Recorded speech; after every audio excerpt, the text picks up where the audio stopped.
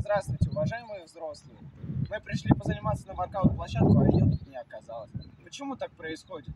Почему мы не можем свободно заниматься спортом? Уважаемые взрослые, мы также просим вернуть эту площадку, чтобы продвигать спорт более молодежном поколении, самим заниматься спортом.